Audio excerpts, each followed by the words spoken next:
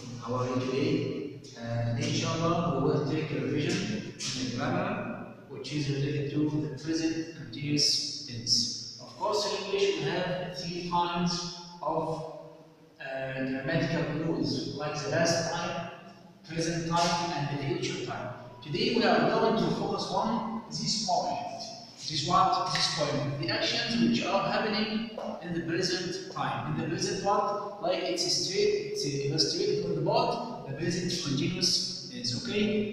When we use the present continuous tense, do you think that we study the present simple, the present continuous tense for actions which are happening every day, or actions which are permanent? Of course not.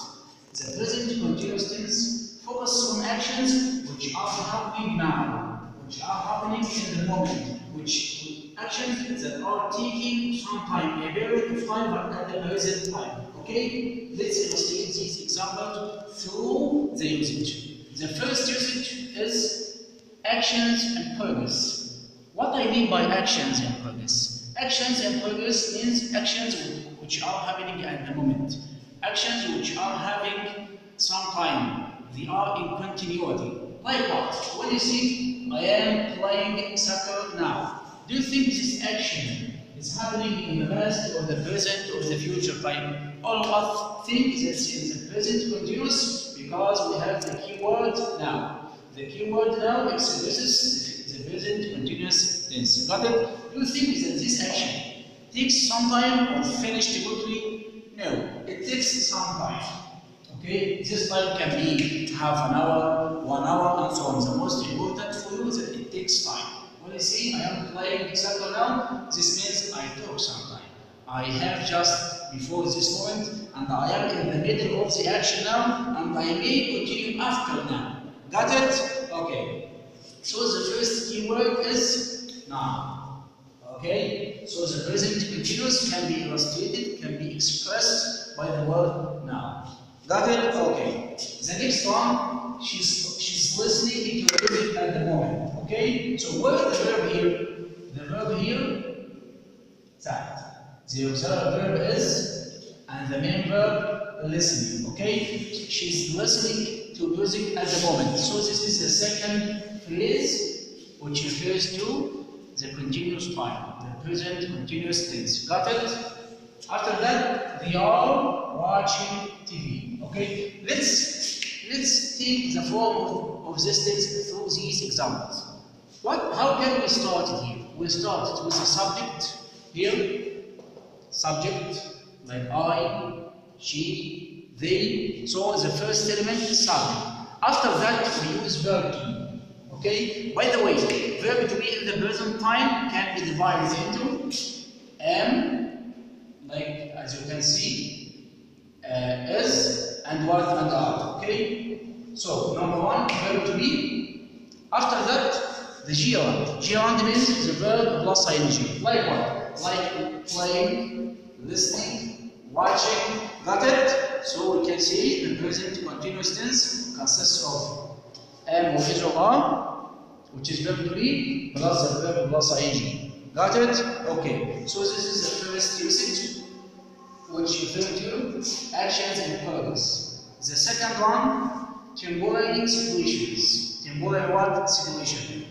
What do you think about temporary situations? Temporary situations means actions which are happening just now. Not always actions.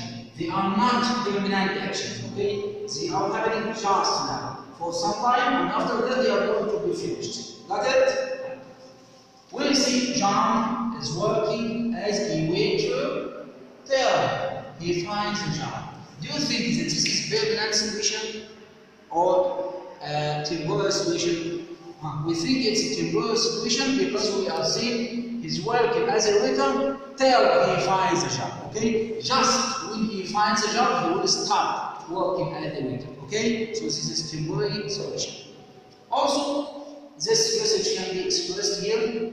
They are visiting their relatives a lot these days. Okay? In general, they don't visit their relatives always or regularly, but a lot these days. Just these days, they are visiting them.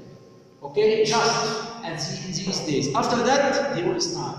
So this is temporary, not permanent. Okay, and versus the present simple tense, temporary action. But the present continuous, tomorrow, sorry, present simple, permanent actions. Present continuous, temporary situations. Got it? The last one, definite future events. What about the future? How can we use the, present continuous with the future? It's just present to refer to the future if we have arranged, if we have, when we, if we have arranged for the actions to happen. If we have arrangements with the, the present continuous. When I say I am traveling to London tomorrow, this is the present continuous tense. It refers to actions we have planned for them. We have arranged to, to do that tomorrow. Okay? She's visiting her friend tomorrow. Of course, she has arranged to visit her friend tomorrow. Okay? So if you have arrangement, use the present Okay? Uh, this is the form as we said. When I say, take this example. She reads a story every day. Do you think this is present continuous or present simple? We have every day. We have studied in the last session that every day refers to present simple. But I ask you now to use the present now. If I, I am giving you a word right now, so you should use your structure in the present continuous tense. Who can change from the present simple and a continuous one? This is the structure. Subject is she, after that verb be, so she takes S. What about the form of the verb? It becomes reading, a story, and we cancel this phrase, and now replace this. Got it? Okay. So this is the, affirmative one. This is the negative. The negative just we add not after verb to be to form the negative. When I say they are studying for the exams now, change it to the negative. I told you that to form the negative, put just the, the negative particle not. So we can change it. Let's split up. They are studying. The, uh, do you think this is right? No, because we said we want not. So it becomes aren't. Okay? So the aren't studying for the exams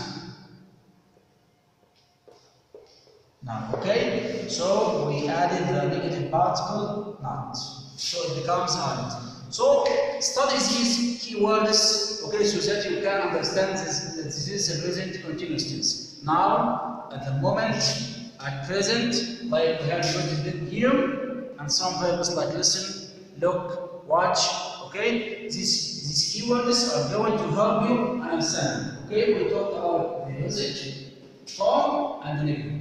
Uh, inshallah, in the next session, we are going to continue discussing the two kinds of questions. 十八年了